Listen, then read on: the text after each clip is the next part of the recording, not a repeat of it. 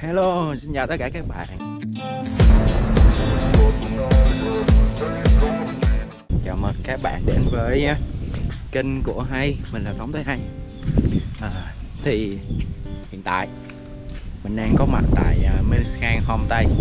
À, Cái homestay này ở Thác Phi Liên Một trong những homestay uh, các bạn có thể khi đi uh, cắm trại Thác Phi Liên có thể tới đây uh, nhờ anh chủ thuê dịch vụ để đi vào thác Phi Liên cũng như ăn ở ăn uống trong thác ha. Thôi vị trí vị trí chỗ này thì các bạn có thể dùng Google Maps search là Minh Khang Homestay Coffee hoặc là mình sẽ ghi map dưới bản đồ cho các bạn. Đó nói chung là về. Cụm này cũng khá là thiên nhiên thân thiện. Rồi à, phía trong này là nhà của anh chủ ha. Thường thì khách tới đây mọi người sẽ ngủ phía trên đồi giờ thì mình sẽ đi lên trên đồi cho các bạn xem ha. Đây. ở đây đi có biển chỉ dẫn nè. Có lối nè. À, tất cả những cây trồng trong cái vườn này đều được anh chủ tự chăm bón tự tay ảnh làm. Rất là xịn sò. Đây này là bạn giá. Đó. Chụp hình 15k Tết lễ thì có thể là xíu. BBQ buổi tối là hai 200 nghìn một người cũng khá là ngon. Phải nói là quá ngon luôn. Anh chị đây làm rất là ngon. Giờ thì mình sẽ đi lên trên chỗ ở của mình. Thì mình tới đây tối hôm qua rồi. Mà tối hôm qua tới tối quá với trời trời mưa. Sáng này mới quay được. Ở đây có cái hồ nè.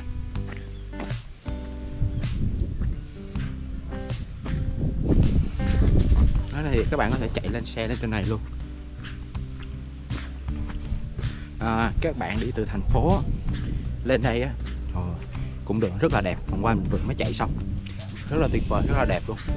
Không thể chê vào đó. Đây. đó. Hoa tím không? Biết các bạn biết hoa này hoa gì không? Mình sẽ không nói à các bạn sẽ tự đoán xem nó là hoa gì. Một loại hoa rất là dễ dễ biết. Rất là đẹp. Hai bên đường thì anh đang làm. Mùa này thì mùa mưa thì khách, lượng khách không nhiều lắm. Nên anh đang cải tạo lại khu vườn của mình. Bên này thường thì anh sẽ trồng những loại hoa theo mùa. Như là hoa tam giác mạch nè. Một số loại hoa kiểu nở theo mùa để khách du lịch tới đây chụp hình đó Vâng, trong vườn này có một cái hay á. Là hoa. Lúc nào bạn tới cũng sẽ có hoa để chụp. Ảnh chụp hoa ảnh trồng hoa theo kiểu là à, khi hoa này hết rồi hết mùa hoa này sẽ có mùa hoa khác.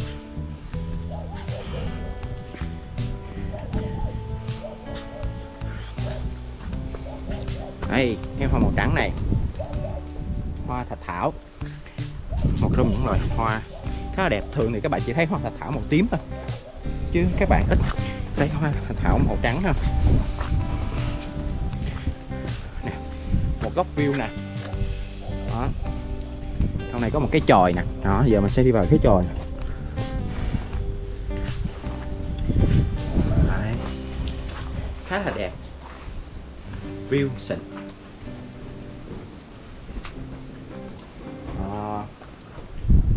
View ngắm ra phía trước. View ngắm ra phía trước rất là đẹp tất cả đây đều tự tay anh chủ anh làm anh chị chủ thì rất là dễ thương rất là hiếu khách. Ồ.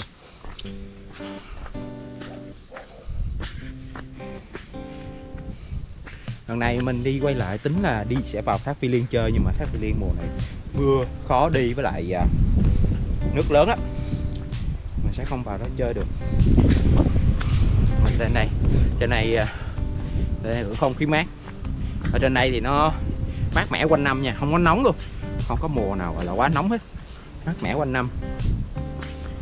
Không biết là sau này à, mấy cái nhà kính này dựng lên thì có ảnh hưởng gì không? Nhưng mà hiện tại với số lượng nhà kính như vậy ở đây thì à, rất là mát. Này mình sẽ quay khu anh cải tạo cho mọi người xem.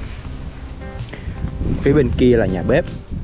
Để mình đi bên này đi ha. À các bạn có thể thấy nè.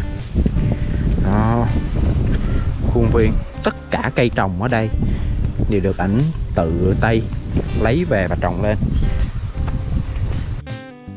Tới đây thì có cắm trại được hay không? À, thì à, ngoài thì các bạn có thể ngủ trên mấy cái lều lam binh trên đó ha mấy cái nhà lam binh trên đó thì các bạn có thể cắm trại. Hồi trước thì à, tụi mình cắm trại dưới này nè. Đó. Hoặc là tụi mình cắm trại ngay bên bếp luôn. Đó đó cái bên bếp đó. Đó cũng có dựng được khoảng mấy cái lều. À, thứ hai thì anh chủ anh sẽ làm lại. Anh nói với mình á là sắp tới chỗ này thì anh sẽ trồng hoa. Cái chỗ cắm trại anh sẽ trồng hoa. Còn cái chỗ này nè anh sẽ làm dựng đế lên. Làm cái mặt phẳng phẳng để các bạn dựng lều ở trên á. Không bị à, mưa ướt hay là gì dơ gì đó. Tương lai anh sẽ làm chỗ này. Lại đó, còn dưới này sẽ trồng hoa, trồng cỏ đẹp gì. Rồi. Còn bãi cắm trại phía bên bếp lửa cũng vậy. Có thể là anh xây dựng ván lên luôn. Che chắn lại. Đẹp lại cho các bạn cắm trại luôn. Rất là tuyệt vời.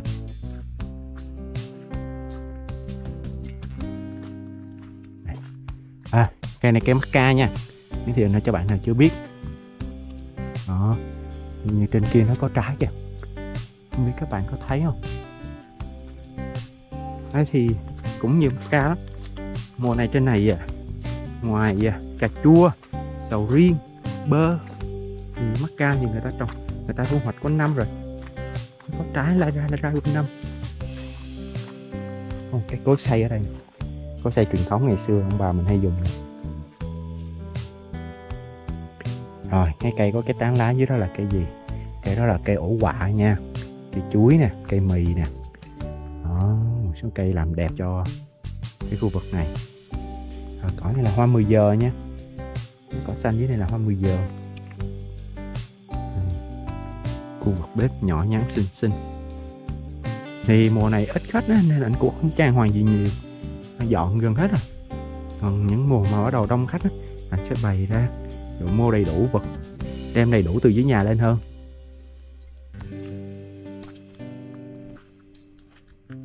Khu này là nhà vệ sinh. Thì có nhà vệ sinh, có nước nóng. Ừ.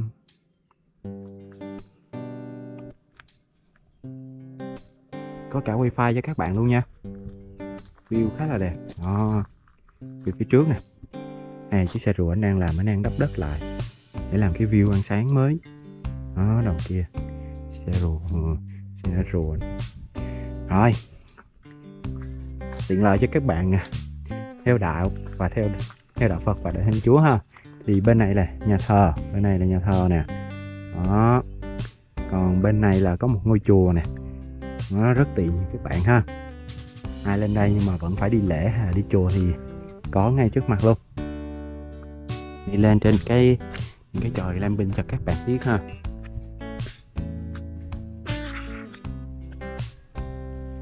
Rồi đây có một chỗ đốt lửa. Dưới kia có một chỗ đốt lửa. Giữa là dựng lều nè.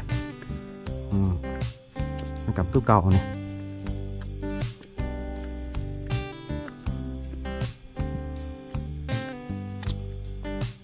Đó.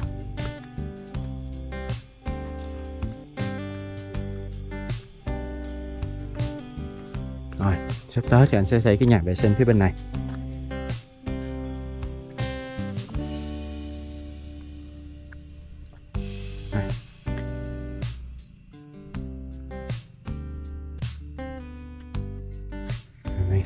Giờ trang trí rất là nhiều luôn.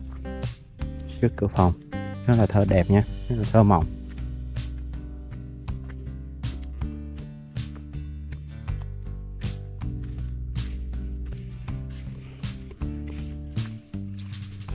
Khu vực bếp này. chỗ này anh chỉ dùng để nướng gà, nướng gì? Khi các bạn yêu cầu anh sẽ nhóm lửa nướng gà, nướng các thứ ở đây. Thì mùa này không có khách nên cũng không nướng gì cả.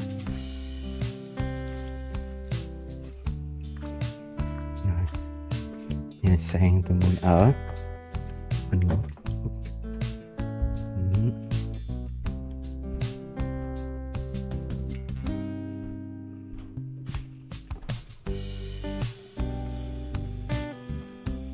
Tuyệt vời không mặt trời.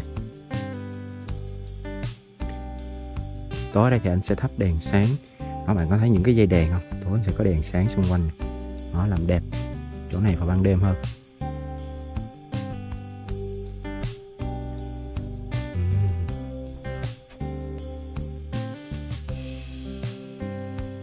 Nơi này rất yên tĩnh nha. Lâu lâu thì cũng có hàng xóm hát karaoke nhưng mà ở thôn quê hàng xóm cách nhà nhau cũng khá là xa nên là cái việc nghe được tiếng nó cũng rất là nhỏ.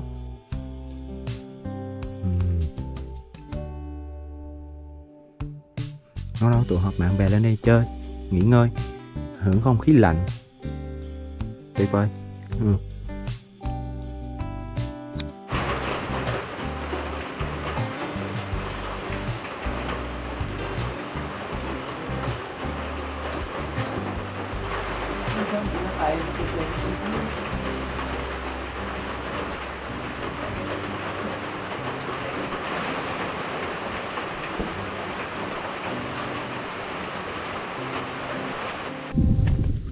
Hey, đi xuống cầu cá thôi.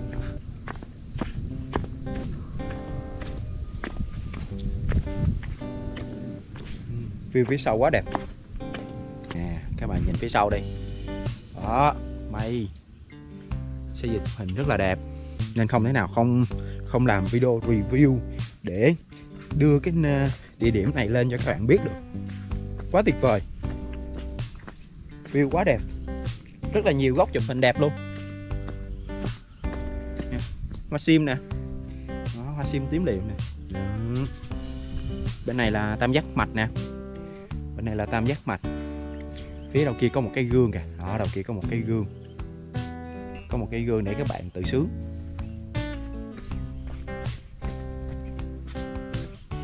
Có một cái xích đu nho nhỏ phía bên này nữa.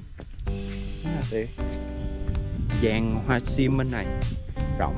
Thôi dàn hoa sim nè. Rất là tuyệt vời. Nói lại về cái view trên kia. Đó, cái view trên kia nhìn xuống. Bên kia là rừng thông kìa. Mình nói là rừng thông á các bạn muốn anh chủ dẫn đi hái nấm rừng thông thì các bạn có thể nhờ ảnh dẫn vô rộng đi hái nấm. Mấy cái bạn chỉ dẫn thật là dễ thương. Nhìn đó hmm. giờ thì mình sẽ đi câu cá với cái hồ bên kia hồ bên kia đường á. Bên kia đường có một cái hồ của anh chủ luôn hồ rộng dài. Đó, nó dài tới hôm này nè. Giờ thì mình sẽ đi câu cá. Hồi trước mình có đi bắt chim chép rồi đó. Vui lắm đã từng đi mò chim chép. Mùa này thì chim chép nó chưa lớn nên có lại lạnh lắm. Mùa này đang rất lạnh. Mình mặc áo nhưng thì mình cũng hơi quen với nhiệt độ lạnh rồi. Chứ đi ngoài trời như đi Đà Lạt không khí Đà Lạt mùa này mát mẻ. Anh chủ đang à, trồng hoa. Để trong mùa khi hết mùa mưa mấy bạn lên đây là chụp hình. Rất là nhiều góc chụp luôn. À, anh chủ còn chơi lan nữa. Đó, như một dàn lan của ảnh toàn là rang. Ảnh tự đi hái về. Trên rừng hái về. À, vườn lan của anh chủ nhà. Quá trời lan. Còn cả trên này nữa. Yeah. Yeah, đi câu cá thôi. Nè đi xuống câu cá nha. Đó. còn anh chủ với lại bạn mình đang ngồi câu cá dưới kia. Thấy đầu kia có mấy cái cá cái cà chua.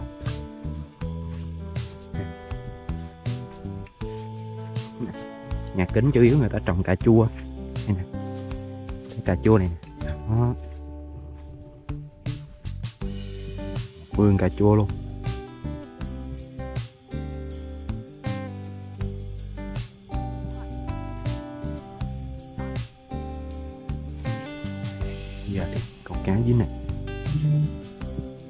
Có điện thoại nè anh thôi điện thoại đây. Đó dinh ca dinh ca dinh ca dinh ca. Ui con cá rô đầu. Ui to quá trời to luôn. Trời ơi. Trời ơi. Có mồi có mồi. Trời ơi. Cá to nha trời ơi. Em sẽ giật một con như vậy anh coi. À. à anh vừa nói xong á. Đó anh vừa nói xong á. Đâu mới bây giờ nói đâu có vừa. Đó đúng rồi. Đấy, đúng rồi. Cá bằng bàn tay nè. Anh vừa nói xong á. Cảm ơn các bạn đã coi video. Nếu thấy video hay hãy cho mình một like, một subscribe, một đăng ký, một đăng ký kênh nha. À, các bạn có thắc mắc gì về nơi này thì có thể comment bên dưới để mình trả lời. Cũng như là à, muốn mình đi tới đâu cắm trại hay là tìm địa điểm cắm trại thì hãy comment bên dưới cho mình biết luôn nha. Cảm ơn các bạn rất là nhiều.